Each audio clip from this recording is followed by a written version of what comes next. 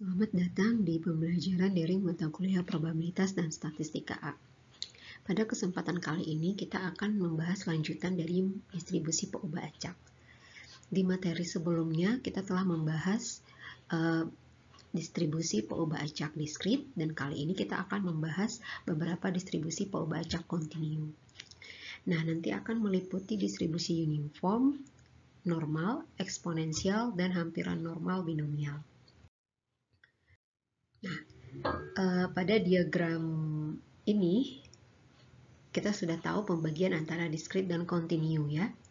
Nah, di distribusi pembaca kontinu akan kita bahas itu hanya ada tiga distribusi yaitu normal, eksponensial, dan uniform. Kemudian nanti ada tambahannya pendekatan antar, pendekatan distribusi normal dengan menggunakan binomial. Nah, kita lihat untuk yang pertama yaitu distribusi normal. Distribusi normal disebut juga dengan distribusi Gauss, diambil dari ahli matematika Jerman yang menemukannya yaitu Carl Friedrich Gauss 1777 sampai 1855. Menemukan persamaan waktu meneliti galat dalam pengukuran yang berulang-ulang mengenai bahan yang sama.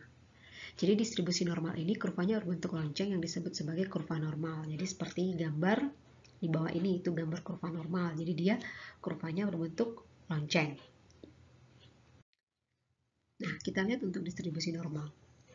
Jika dilihat dari definisinya, uh, suatu variabel random x berdistribusi normal, x berdistribusi nor, mu, koma, uh, sigma kuadrat. Jadi kita lihat di sini ya, x x berdistribusi normal, di mana rata-ratanya min, kemudian uh, standar deviasinya yaitu sigma kuadrat. Jika mempunyai fungsi padat peluang PDF, berarti kan dia probability density function ya.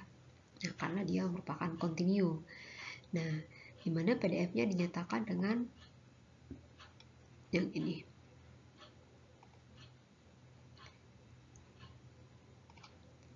Nah, yang ini dinyatakan dengan PDF-nya. Atau itu bisa dituliskan dengan uh, eksponensialnya ini jadi E ya, jadi E pangkat, nah itu min setengah X dikurang mu per sigma kuadrat. Nah, untuk X berada di antara min tak hingga sampai tak hingga dan mu berada di antara min tak hingga sampai tak hingga dengan uh, simpangan bakunya besar dari 0. Jadi nilai E itu adalah nilai uh, bilangan Euler 2,71828 418 dan Q itu adalah 3,14 sekian. Nah, e, sebenarnya ada beberapa kondisi kurva normal jika dilihat dari simpangan baku dan rataannya. Jadi kita lihat bentuk gambar yang pertama ini, itu e, kita lihat ya, di sini tingginya, tinggi dari kurvanya sama. Karena di sini terlihat bahwa simpangan bakunya e, sigma 1 sama dengan sigma 2. Nah, kemudian mu-nya antara yang pertama dengan yang kedua itu lebih kecil yang pertama. Jadi rataan yang pertama itu lebih kecil dari rataan yang kedua. Jadi bentuknya akan seperti ini memiliki tinggi kurva yang sama. Sedangkan kalau kita lihat gambar kedua ini, yang kedua ini mempunyai mu 1 sama dengan mu 2 karena letak antara rataannya yaitu garis tengahnya itu berada di titik yang sama. Sedangkan kita lihat ketinggian kurvanya. Nah, simpangan baku yang pertama lebih tinggi dari simpangan baku yang kedua. Sehingga kita lihat antara perbedaan kurva yang pertama dengan kurva yang kedua. Kurva yang pertama, simpangan bakunya itu lebih kecil nilainya. Sehingga dia kurvanya tinggi, sedangkan simpangan kedua itu uh, nilainya lebih besar. Sehingga kurvanya itu seperti uh, melenceng begini nih lekukannya. Jadi agak sedikit lebih lembah ya kalau yang yang pertama tadi dia agak meninggi gitu. Nah, lalu kita lihat untuk kondisi yang ketiga di sini, mu1 lebih kecil dari mu2 karena letak titik titik dari mu1 itu di sebelah kiri. Ya, sedangkan mu2 itu di sebelah kanan. Kemudian Simpangan bakunya, simpangan baku pertama lebih kecil dari simpangan baku kedua. Ini terlihat dari tinggi tinggi kurvanya karena tinggi kurva pertama lebih lebih tinggi sehingga simpangan bakunya lebih kecil. Jadi simpangan baku itu ibaratnya seperti ini loh, ini lebar dari ininya. Nah, lebar dari kurvanya nih. Nah, ini kan lebih besar nih lebar kurvanya yang kedua ya dibandingkan dengan lebar kurva yang pertama ini dia. Nah, makanya dia agak lebih memuncak di sini bentuk kurvanya. Nah, itu dia beberapa bentuk kurva normal uh, jika dilihat dari simpangan baku dan rataannya. Karena kan di dalam distribusi normal normal itu parameter yang kita, gunakan hanya ada dua itu yaitu uh, rataannya mu-nya dan simpangan bakunya. Nah, lalu jadi kalau seandainya ya karena kita berbicara mengenai uh, distribusi baca kontinu berarti kan dia nanti kaitannya dengan integral ya. Nah, berarti ketika kita punya kurva, kurva normal, maka peluang dari uh, antara interval X1 dan X2 itu, peluang satu pembacak itu antara interval X1 sama X2 itu, itu menjadikan luas di bawah kurva normal. Nah, berarti kalau kita ingin menentukan luas di bawah kurva, berarti kan kita menggunakan prinsip integral. Nah, maka kita lihat dari sini, ditanya itu kan ini gambar kurva normalnya. Mu-nya, kemudian X1 dan X2 merupakan intervalnya. Nah, apabila nanti kita mau mencari peluang pembacak X antara X1 dan X2 ini, maka kita gunakan integral, integral tertentu. Nah, dengan batasnya X1 sampai X2. Dengan mengintegralkan apa? Yaitu fungsi dari distribusinya. Nah, fungsi dari distribusi normal tadi itu adalah dengan parameter mu dan uh, simpangan bakunya. Maka kita integralkan terhadap X, maka kita ganti tadi yang dari slide sebelumnya fungsinya apa? Yaitu 1 per uh, sigma akar dari 2 pi dari X1 sampai X2 E pangkat min setengah X kurang mu per sigma kuadrat dx. Jadi ini yang digunakan. Nah, jadi apabila kita lihat mencari luasnya itu itu akan mengalami kesulitan untuk dalam menghitung integralnya. Maka e, untuk menghitung integralnya itu dilakukanlah sebuah transformasi. Transformasi ini dituangkan dalam tabel luas kurva normal untuk mempermudah kita menggunakannya. Jadi kita nggak perlu pakai integral itu, tapi cukup dengan mentransformasikannya ke dengan mentransformasikannya dengan bantuan nanti ada sebuah tabel uh, distribusi normal. Nah, caranya gimana langkah-langkahnya? Yang pertama, kita harus transformasi dulu menjadi transformasi Z sama dengan X dikurang mu per sigma. Jadi X itu di sini pembacaknya. Nah, bila mana X mendapatkan nilai X, nilai X kecil, maka nilai Z padanannya juga harus kita ganti. Berarti di sini nanti ada menjadi Z kecil ya. Jadi Z kecil itu sama dengan X dikurang mu per sigma. Nah, Gimana kalau X-nya ada dua? Nah, antara, misalnya X-nya berada di antara X1 dan X2, maka kita cari masing-masing berapa Z1, berapa Z2. Ingat ya, parameter mu dan sigma ini sudah diketahui sebelumnya. Nah, sehingga bentuk tadi yang bentuk integral itu bisa kita tuliskannya jadi seperti ini. Ini sama, nih, jadi seperti ini. Nah, jadi uh, awalnya ya ini ya Nah, awalnya kan batasnya X1 dan X2, lalu kita ganti jadi Z1 dan Z2. Maka yang ini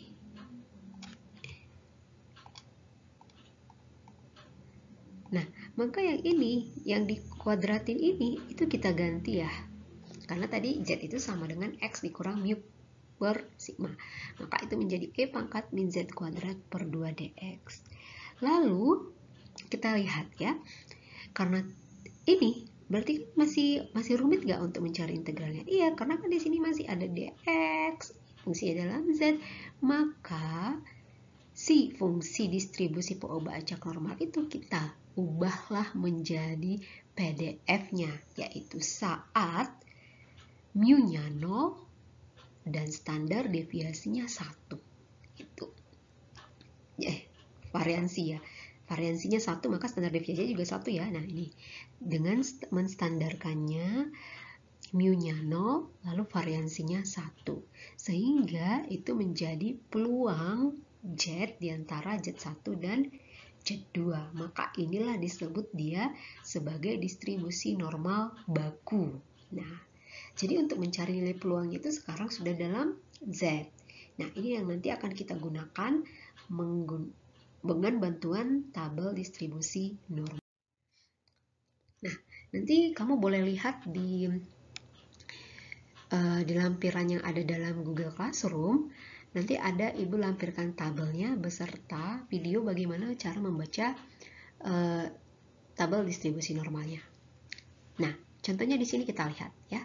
Diketahui suatu distribusi normal dengan mu-nya 50 dan uh, simpangan bakunya 10. Hitunglah peluang bahwa X mendapat nilai antara 45 dan 62. Jadi kan uh, karena dia distribusi normal ya cukup kita udah transformasikan aja ke distribusi normal standar. Nah, berarti kita cari nilai X1, eh kita cari nilai padanannya Z1 dan Z2 karena di sini kan dia meminta peluang antara 45 dan 62 berarti X1 nya 45 X2 nya 62 maka kita cari. Tadi menstandarkan uh, dengan mencari nilai standar Z nya kita menggunakan rumus X dikurang mu per sigma. Maka kita substitusi Z1 nya berarti 45 dikurang 50 per 10 berarti nilainya minus 0,5 lalu Z2 nya yaitu 62 kurang 50 per 10 sama dengan 1,2 maka kita gambarkan kurva normalnya agar kita tahu letak posisi dari si uh, si Z1 sama si Z2 ini di mana. Nah tadi kan sudah distandarisasi bahwa mu-nya 0 ya. Mu-nya 0 lalu uh, lalu uh, simpangan eh sta, standar deviasinya 1 nah berarti dari sini ini yang 0 lalu dia tanda deviasinya 1 maka kita letakkan posisi minus 0,5 minus 0,5 berarti kan ada di kiri sedangkan 1,2 itu ada di kanan. Maka luas di bawah kurva ini itulah merupakan peluang antara Z minus 0,5 dan 1,2 yang telah distandarkan dan di, stand, di normal bakukan ya, distribusi normal bakukan yang awalnya kita mencari peluang X berada di antara 45 dan 62 menjadi Z berada di antara minus 0,5 dan 1,2. Cara mencarinya gimana? Nah, karena kita menggunakan tabel distribusi normal kumulatif, maka kita lihat di tabel itu saat 1,2 bernilai berapa. Nah, 1,2. Maka ini Nih, 1,2 nilainya 0,8849 di tabel. Sedangkan nilai Z kurang dari minus 0,5 itu adalah 0,3085. Maka hasilnya 0,5764 pengurangannya. Jadi begitu menggunakan uh, tabel distribusi normal sehingga kita tahu bahwa peluang nilai antara 45 dan 62 itu adalah 0,5764. Nah, lalu kita lihat contoh berikutnya. Di contoh berikutnya ini, eh, kita disuruh menentukan distribusi normal baku, lalu mencari luas kurva di bawah kurva yang terletak di sebelah kanan Z1,84. Nah, kita gambar dulu kurvanya. Z1,84 berarti kan dia ada di sebelah kanan. Nah, kita lihat di sini. Di sebelah kanan. Nah, karena berarti kan sebelah kanannya berarti yang diarsir ini ya. Nah, karena kita menggunakan tabel distribusi normal kumulatif, kalau kumulatif itu kan berarti dihitung dari ruas kiri, ya, eh dari sebelah kiri sampai ke kanan. Nah, itu dia distribusi normal kumulatif. Makanya tadi ketika kita mencari Z kurang dari 1,2 ya cukup kita lihat di tabelnya itu nilai 1,2. Tapi kalau seperti ini, nah ini artinya apa? Z besar dari 1,84. Nah, maka kita harus melihat kalau di tabel kumulatif itu berarti kan dia yang ini doang nih, yang ini Z kurang dari 1,84-nya. Tapi yang mau kita butuhkan adalah kurang besar dari 1,84. Maka luasnya itu adalah kita kurangi 1 dikurang nilai yang pada tabel 1,84. Berarti 0,0329. Gitu. Nah, lalu kita lihat yang pertanyaan B.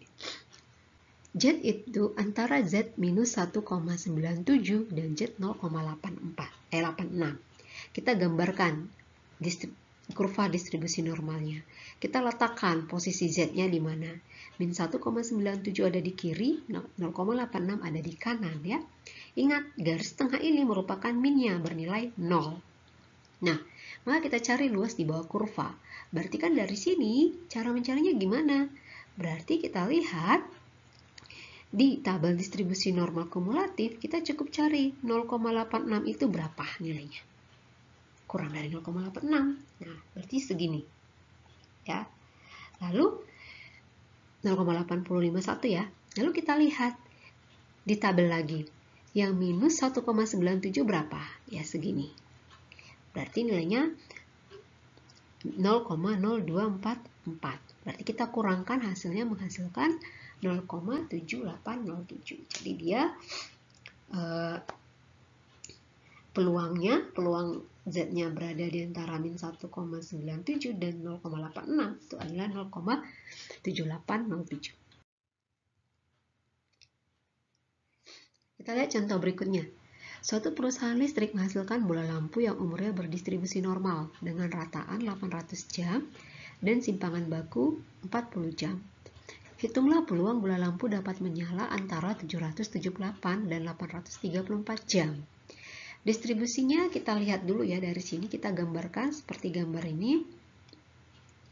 Nah, kan katanya rataannya 800, simpangan bakunya 40 jam. Nah, kita mau cari berapa peluang antara 778 dan 834. Berarti kita gambar distribusi normalnya. Kita lihat dari sini, titik tengahnya ini merupakan minnya 800. Berarti posisi 778 ada di kiri, posisi 834 ada di kanan. Nah, maka kita transformasi. Nah, kita transformasi menggunakan distribusi normal standar. Kita cari Z1 sama Z2-nya seperti ini dapat Z1-nya 0,55 minus ya, lalu Z2 0,85. Maka kita cari peluang X berada di antara 7785 dan 834, maka itu sama dengan peluang Z berada di antara minus 0,55 0,85. Maka kita cari dengan menggunakan tabel distribusi normal. Nah, kita lihat angka dari kan berarti yang paling kanan kan 0,85. Berarti kita lihat berapa nilai Z? Kurang dari 0,85 di tabelnya ditertulis nanti 0,8023 lalu kita lihat di tabelnya berapa peluang Z kurang dari minus 0,55 kita lihat yang nilai minusnya itu nanti senilai 0,2912 maka kita kurangkan berarti hasilnya adalah 0,51111 nah itu dia peluangnya. Hmm. Lalu kita lihat, e, sebenarnya distribusi normal ini bisa kita lakukan pendekatan dengan menggunakan, eh maksudnya distribusi hampiran normal ini ada hubungannya dengan binomial. Jadi distribusi binomial itu bisa dihampiri dengan baik oleh distribusi normal. Jadi e, kalau kita lihat ya kalau binomial kalau mencari rataannya kan binomial itu dia distribusi Pobacak diskrit ya. Nah, jadi apabila nanti N-nya menuju tak hingga, maka kita bisa menggunakan distribusi normal baku ini. Gitu. Dengan menstandarkan dulu bahwa rataannya nanti itu adalah N kali P. Lalu variansinya itu adalah N kali P kali Q. Maka nanti nilai Z-nya itu kita ubah. ya Kan kalau tadi nilai Z itu X dikurang U per simpangan baku. Nah, maka kita lakukan dengan menggunakan yang binomial tadi, mu-nya kita ganti menjadi NP, lalu simpangan bakunya itu akar dari NPQ. Maka ini sudah sebenarnya menjadi distribusi normal baku standar dengan min-nya 0, lalu simpangan bakunya 1. Nah, Ingat ya, nilai Q, itu boleh dicari dengan satu dikurang P gitu.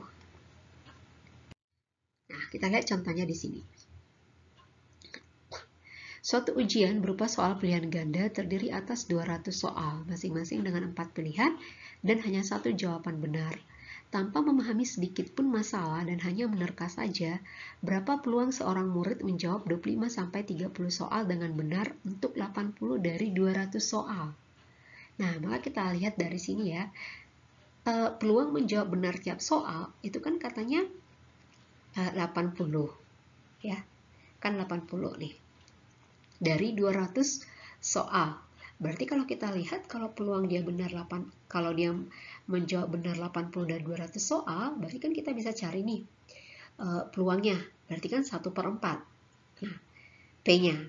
Berarti bila X menyatakan jawaban yang benar dengan benar menerkanya itu, berarti X berada di antara 25 dan 30. Kan dia mau menjawab uh, menanyakan peluang seorang menjawab 25 sampai 30 soal. Berarti sama dengan sigma dari 25 sampai 30. Tuh, dari 25 sampai 30 dengan binomialnya X 80 eh, ini merupakan hmm, mu-nya, lalu peluangnya eh n itu merupakan 80 itu merupakan N-nya, lalu seperempat itu merupakan P-nya. Maka dengan menggunakan hampiran kurva normal, kita cari mu-nya. Mu-nya kan N kali P, berarti 80 kali seperempat, sama dengan 20.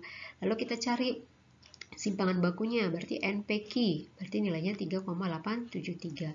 Lalu kita cari, uh, kita kan mau mencari X-nya berada di antara 25 dan 30. Tapi kan di sini kita lihat uh, di pertanyaan ini kan menjawab 25 sampai 30 soal, berarti kan termasuk dong angka 25 itu dan termasuk 30 itu.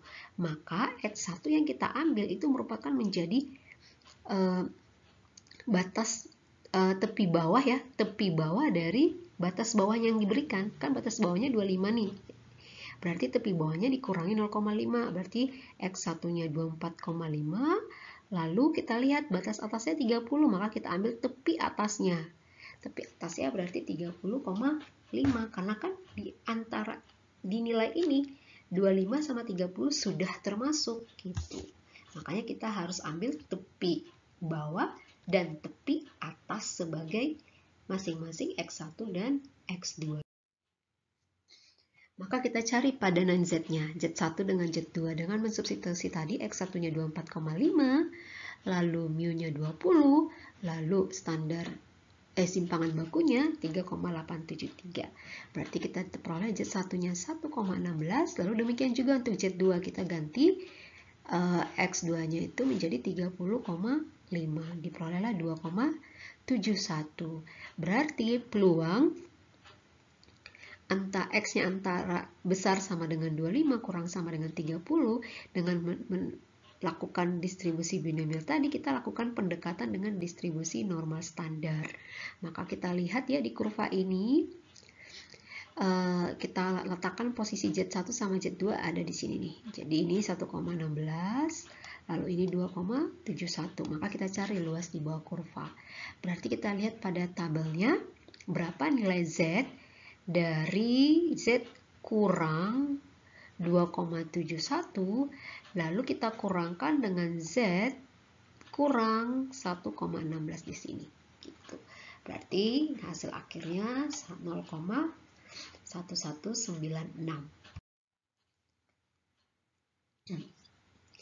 Lalu kita lihat untuk distribusi yang kedua, namanya distribusi uniform atau distribusi seragam.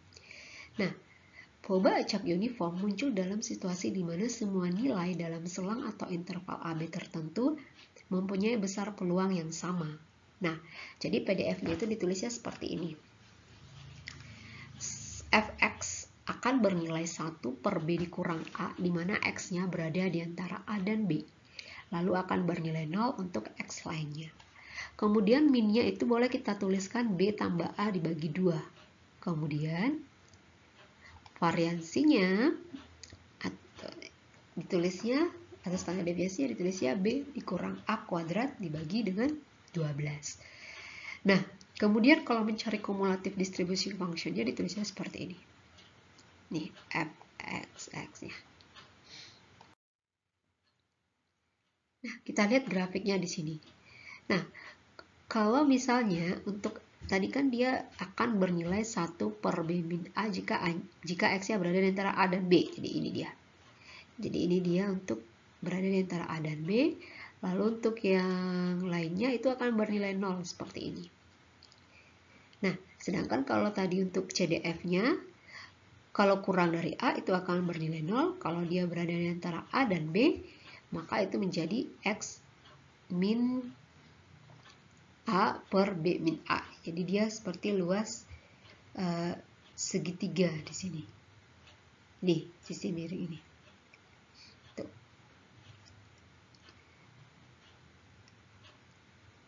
Lalu lalu kita lihat di sini kalau dia besar dari B maka dia akan satu. Nah, kita lihat contohnya. Sebuah ruang konferensi dapat disewa untuk rapat yang lamanya tidak lebih dari 4 jam.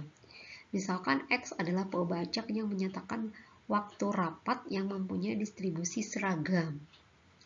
Nah, berarti kan dia ini uh, apa e, nilainya kan diminta itu berarti kan tidak lebih dari 4 jam ya. Berarti batasannya dari 0 sampai 4. Nah, kita mau menentukan tentukan fungsi densitas peluang dari X. Nah, kita lihat berarti kan intervalnya dari 0 sampai 4 jam. Berarti kita lihat kira-kira peluangnya berapa dari 0 sampai 4 jam itu. Nah, nilainya itu adalah kan tadi 1 per B min A, berarti 1 per 4 dikurang 0, nilainya seperempat untuk X-nya berada di antara 0 dan berada X-nya itu besar sama dengan 0, kurang dari 4. Lalu akan bernilai 0 untuk X lainnya, gitu caranya.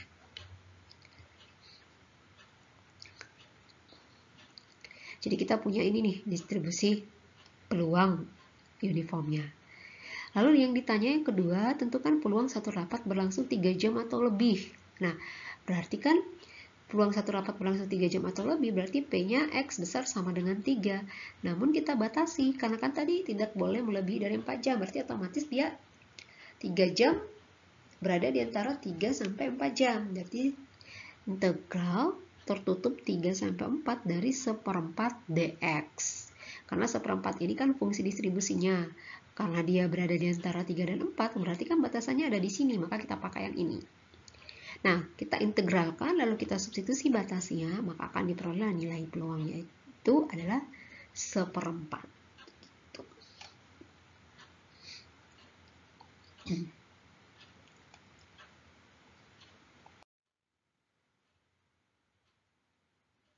lalu kita lihat contoh yang di sini lagi ada nilai distribusi uniform. Diameter komponen yang dinyatakan dalam variabel random X diketahui berdistribusi uniform kontinu dengan batas bawah 10 mm dan batas atasnya 20 mm.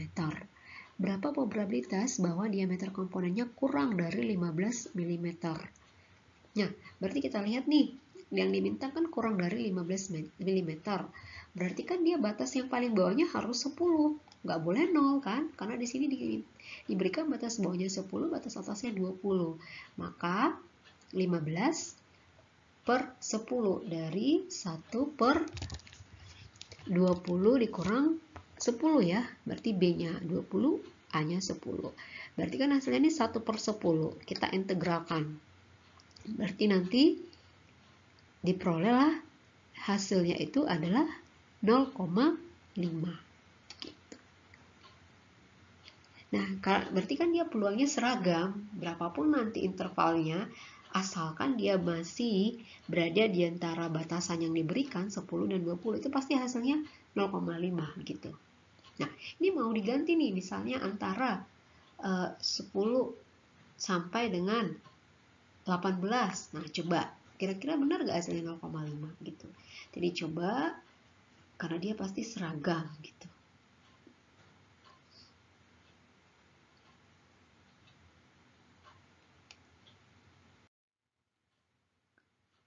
Lalu kita lihat distribusi eksponensial.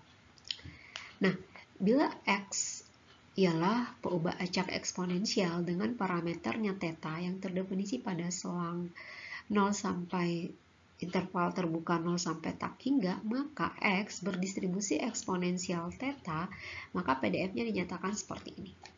1 per theta kali E pangkat min X per theta, di mana X-nya besar dari 0. Lalu akan bernilai 0 untuk X lainnya. Nah, minnya itu berdi, minnya atau ekspektasinya itu adalah theta. Sedangkan variansinya itu adalah theta kuadrat. Nah, lalu kita mau mencari kumulatif. Berarti kan kumulatif penjumlahan dari sebelumnya ya. Nah, akan bernilai 0 untuk X-nya kurang dari 0. Lalu akan bernilai 1 dikurang E pangkat min X per tak hingga untuk X-nya besar sama dengan 0. Nah, sebenarnya distribusi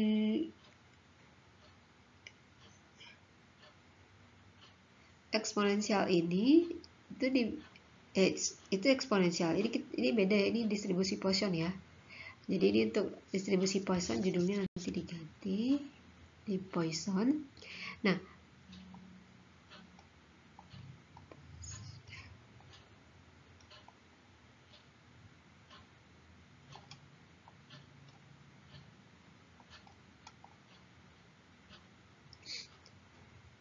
Nah, kita lihat ya aplikasi distribusi Poisson itu bisa digunakan dalam teori antrian, jarak antar kedatangan pelanggan di fasilitas pelayanan, uh, seperti bank, loket, kereta api, tukang cukur, dan sebagainya memberi distribusi eksponensial.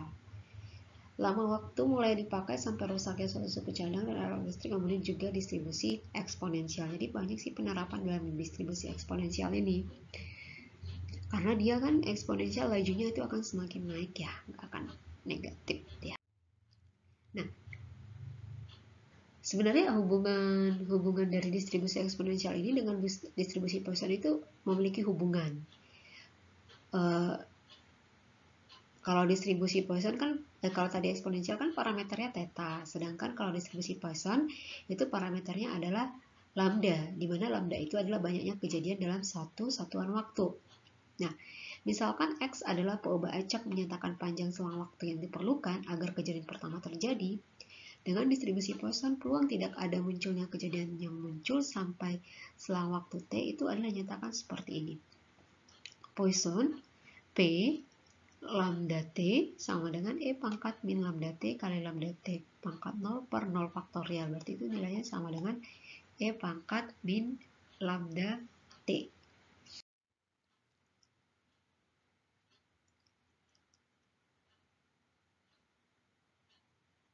Berarti kan hampir sama aja ya dengan yang uh, distribusi eksponensial ya. Kalau tadi kan distribusi eksponensial itu saat E pangkat min X per theta gitu.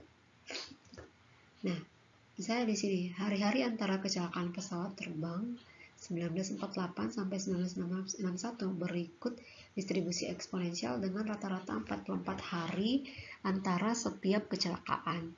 Jika satu terjadi pada 1 Juli setiap tahun tertentu, berapa probabilitas dari yang lain seperti kecelakaan dalam sebulan? Nah, berarti kan di sini kita lihat ya untuk yang A, distribusi eksponensial kan tidak memiliki memori. Maksudnya tidak harus membutuhkan histori yang sebelumnya. Maka setelah sebuah kecelakaan di bulan tertentu tidak memiliki uh, landasan pada setiap periode waktu lainnya. Jadi nggak jadi probabilitas kecelakaannya itu berarti selama 31 hari dong, karena kan uh, kita lihat di sini dalam sebulan berarti kita ambil uh, Juli kan, berarti Juli jumlah harinya kan 31, berarti 1 dikurang E pangkat minus 31 per 55 ini didapat dari mana? Nah, 55 ini didapat dari ya, harusnya 44 ini salah. Harusnya ini 44 bukan 55 nanti diganti. Nah karena di sini kan rata-ratanya 44 kan min uh, x per theta theta itu kan rata-ratanya.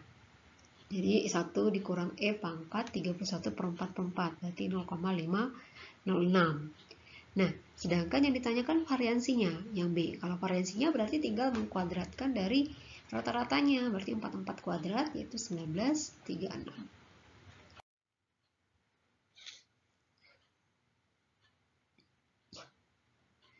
Nah, kita lihat contoh berikutnya di sini. Misalkan suatu sistem mengandung sejenis komponen daya tahannya dalam tahun dinyatakan oleh pengubah acak T yang berdistribusi eksponensial dengan parameter waktu rataan sampai gagal bahwa paling sedikit du, gagal tetanya 0, 0 tetanya 5 berarti rataannya 5 bila sebanyak 5 komponen tersebut dipasang dalam sistem berlainan berapakah peluang bahwa paling sedikit dua masih akan berfungsi pada akhir tahun ke-8 nah kita lihat peluang bahwa komponen tertentu masih akan berfungsi setelah 8 tahun. Kita cari dulu. Ya peluangnya. Karena kan kita butuh nanti nilainya ya. Nah berarti ini adalah peluang T besar dari 8 1 per 5 integral tak hing, min tak hingga sampai tak hingga. Berarti E pangkat min T per 5 dt itu misalkan X-nya itu menyatakan banyaknya komponen yang masih berfungsi setelah 8 tahun dengan menggunakan jadi ini kan nilainya pasti ada nih. Tadi ya nilainya. T dicari nilainya berapa hasil integralnya. Nah lalu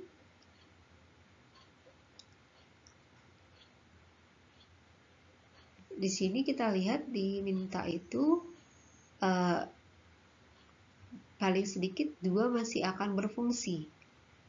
Nah, ini kan nilainya nanti itu 0,2 ya. Kalau kamu hitung itu nilainya di sini itu adalah 0,2. Nah, 0,2 ini kita gunakan nanti di sini di P ini. P. Nah, itu.